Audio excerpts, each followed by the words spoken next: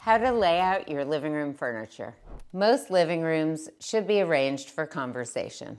So a sofa and two chairs facing each other is the perfect way to create that.